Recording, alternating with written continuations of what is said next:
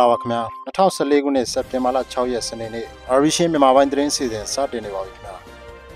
ဒီကနေ့တင်ဆက်ပေးမယ့်သတင်းတွေထဲမှာဥရောပနိုင်ငံတွေကိုချစ်ကြည်ရေးခီးစဉ်ရောက်ရှိနေတဲ့သမ္မတဦးသိန်းစိန်ကဆွစ်ဇာလန်နိုင်ငံမှာဖက်ဒရယ်စနစ်အကြောင်းလေ့လာဆွေးနွေးခဲ့တဲ့သတင်းယူကရိန်းနဲ့ခွဲထွက်ရေးတပုံတွေကြားအပြည့်အခက်ရက်စဲရေးသဘောတူညီမှုတရက်ရရှိလိုက်ပြီဆိုတဲ့သတင်းပါကစ္စတန်နဲ့အိန္ဒိယနယ်စပ်တဝိုက်မှာရေကြီးမှုကြောင့်လူတရာနီးပါးသေဆုံးခဲ့တဲ့တဲ့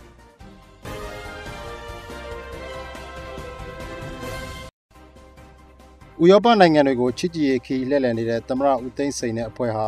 စက်တင်ဘာလ၄ရက်နေ့နောက်ပိုင်းမှာဂျာမနီကနေတဆင့်ဆွစ်ဇာလန်ကိုရောက်လာခဲ့ပါတယ်။ဆွစ်ဇာလန်မှာနေထိုင်စဉ်မှာတော့အသေးစားအလက်စားစီးပွားရေးလုပ်ငန်းတွေကိုလေ့လာမှဖြစ်ပြီးတော့စိုက်ပျိုးရေးမွေးမြူရေးကဏ္ဍတွေကိုလည်းလေ့လာသွားမယ်လို့သိရပါတယ်။နောက်တစ်ခါဆွစ်ဇာလန်နိုင်ငံရဲ့ Federal ပြည်ထောင်စုဖွဲ့စည်းတည်ဆောက်ပုံနိုင်ငံရေးစနစ်တွေကိုလည်းလေ့လာသွားမယ်လို့အတူလိုက်ပါသွားတဲ့ပြည်ထောင်စုဝန်ကြီးဦးရဲထွတ်က BBC သတင်းဌာနကိုပြောပါတယ်။ ဆွစ်ဇာလန်နိုင်ငံတာဝန်ရှိသူတွေက Federal စနစ်အကြောင်းရှင်းပြတဲ့နေရာမှာ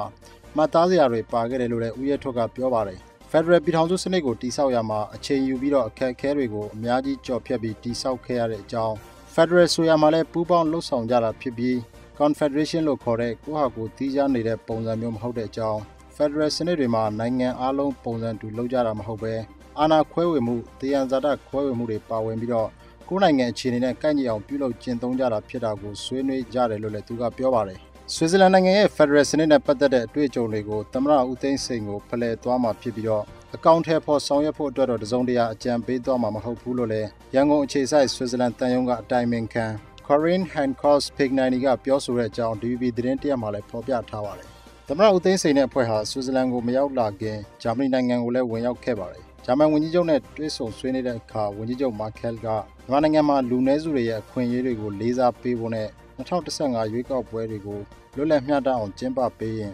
ဂျာမနီကအကူအညီတွေတိုးပေးသွားမယ်လို့ပြောခဲ့ပါတယ်။ဥရောပသုံးနိုင်ငံကိုချစ်ကြည်ရေးခီးလှည့်လည်နေတဲ့သမ္မတဦးသိန်းစိန်နဲ့အဖွဲ့ဟာဆွစ်ဇာလန်နိုင်ငံခီးစဉ်ပြီးရင်တော့နယ်သာလန်နိုင်ငံကိုခီးဆက်ဖို့ရှိနေပါတယ်ခင်ဗျာ။ ယူကရိန်းအရှေ့ဘက်ခြမ်းမှာလာပေါင်းများစွာဖြစ်ပေါ်နေခဲ့တဲ့တိုက်ပွဲတွေအဆုံးသတ်နိုင်ဖို့ရည်ရွယ်တဲ့အပြစ်အခက်ရက်စဲရေးသဘောတူညီမှုတရက်ကိုယူကရိန်းအစိုးရနဲ့ရုရှားလိုလားသူခွဲထွက်ရေးလက်နက်ကိုင်တပုံတွေကြားလက်မှတ်ရေးထိုးဖို့ရှိတယ်လို့ယူကရိန်းသမ္မတပက်ထရိုပိုရိုရှန်ကိုကပြောကြားလိုက်ပါတယ်။ငါးလနီးပါးရှိနေပြီဖြစ်တဲ့ပြည်ပခတွေကိုအဆုံးသတ်နိုင်ဖို့အခြေအနေတရက်အပေါ်မူတည်တဲ့အပြစ်အခက်ရက်စဲရေးသဘောတူညီမှုစာချုပ်လက်မှတ်ရေးထိုးသွားမယ်ဆိုတဲ့အကြောင်းကို ဗြိတိန်နိုင်ငံဝေလနယ်မှာကျင်းပပြုလုပ်နေတဲ့မြောက်အတ္တလန်တိတ်စာချုပ်အဖွဲ့နေတိုးရဲ့အစည်းအဝေးတက်ရောက်နေစဉ်အတွင်းယူကရိန်းသမ္မတကပြောခဲ့တာဖြစ်ပါတယ်။ယူကရိန်းသမ္မတကဒီဘီလာရုစ်နိုင်ငံရဲ့မြို့တော်မှာပြုလုပ်မဲ့အစည်းအဝေးအတွင်းရုရှားနဲ့ခွဲထွက်ရေးသမားတွေရဲ့ပြောဆိုချက်တွေပေါ်မူတည်ပြီးတော့နှစ်ဦးနှစ်ဖက်ပါဝင်တဲ့အပြစ်အခက်ရက်စဲရေးလုပ်ဖို့အတွက်သူ့ရဲ့စစ်သားတွေကိုအမိန့်ပေးသွားမှာဖြစ်တယ်လို့လည်းဆိုပါတယ်။အဲ့ဒီအချက်ကတော့ဒီရုရှားစစ်ပစ္စည်းတွေအားလုံးနဲ့ရုရှားရဲ့စစ်ကြောင်းတွေအားလုံး ယူကရိန်းနယ်မြေတွေကနေစုခွာရမယ်ဆိုတဲ့အချက်တွေပါဝင်ရမယ်လို့ယူကရိန်းသမ္မတကပြောပါတယ်။ဒါပေမဲ့လည်းရုရှားသမ္မတဗလာဒီမီယာပူတင်ကတော့ယူကရိန်းမှာငြိမ်းချမ်းရေးပြန်လည်တည်ဆောက်ဖို့အတွက်သူကိုယ်တိုင်ရေးဆွဲထားတဲ့ငြိမ်းချမ်းရေးလုပ်ငန်းအစီအစဉ်ခုနှစ်ချက်ရှိတယ်လို့ဆိုပါတယ်။ရုရှားလိုလာတဲ့ခွဲထွက်ရေးသမားတွေဘက်ကတော့အပြစ်အခက်ရက်စဲရေးစာချုပ်ကိုထင်မှတ်ထားသလိုပဲသဘောတူနိုင်ခဲ့မယ်ဆိုရင်သူတို့အများစုရှိကြတဲ့လူဟန်စ်နဲ့ဒေါညက်စ်ဒေသတွေမှာအပြစ်အခက်ရက်စဲရေးစတင်လှုပ်ဆောင်မှုအသင့်ရှိနေပြီလို့ဆိုတဲ့အကြောင်း ABC သတင်းတပုတ်မှာဖော်ပြထားပါတယ်ခင်ဗျာ